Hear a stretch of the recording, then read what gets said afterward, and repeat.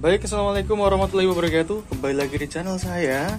Pada kesempatan ini saya akan memberikan uh, pemahaman kepada para pemula Terutama yang ternak kelinci. Itu bagaimana caranya melihat kelinci kita itu sudah hamil apa belum? Yang pertama itu bisa kita lihat ya. Biasanya kalau kelinci kita itu lebih agresif Itu tandanya tandanya itu mulai berisi perutnya.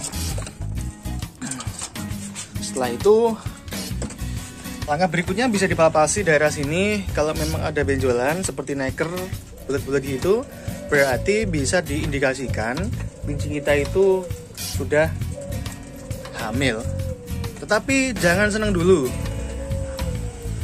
Uh, pada saat kita palpasi itu ada bulat-bulatnya tetapi setelah kita nunggu 2 sampai 3 minggu dan bahkan HPL-nya sudah kelewat, itu tidak ada kelincinya yang lahir.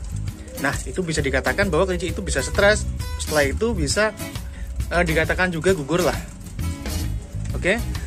Jadi ya, jika kelinci kalian itu hamil, jangan kalian sering-sering memegang. Oke. Dan kedua, itu jaga terus pola makan kelinci, jangan sampai makanannya itu kurang akan vitamin dan juga kurang akan air. Karena pada saat kelinci hamil atau bahkan pun manusia hamil itu perlu nutrisi yang banyak supaya nanti janinnya itu akan berkembang dengan optimal dan juga uh, akan hidup semua. Oke. Terus langkah berikutnya ya. Ini adalah lang uh, ciri yang bagaimana? Ini adalah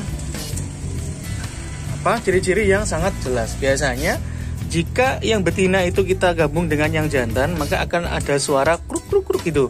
Ya langsung saja. Bagaimanakah suaranya? Ini betina kita pindah ke jantan.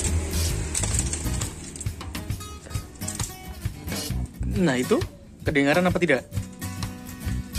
Biasanya ketika kelinci itu sudah mau lahiran itu akan tidak mau jika didekatkan. Setelah itu akan ada suaranya terus mulutnya itu di bahasa Jawa itu mangap-mangap hmm. atau membuka mulut biasanya. Gitu. Ya ada suaranya kan? Nah itu bisa dikatakan bahwa kelinci kita itu sudah ada isinya atau sudah hamil, ya. Nanti barangkali ada yang ditanyakan, silakan untuk para pemirsa silakan untuk berkomentar di bawah dan juga barangkali nanti ada yang perlu dibuatkan konten itu bisa kami buatkan konten ya.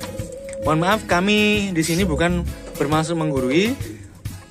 Monggo diterima jika memang apa yang saya utarakan tadi itu benar dan jika salah mohon dimaafkan dan juga saya minta untuk dibetulkan ya untuk para senior-senior dan juga para master di bidang kelinci ya. Nah, kurang lebihnya saya mohon maaf. Wassalamualaikum warahmatullahi wabarakatuh.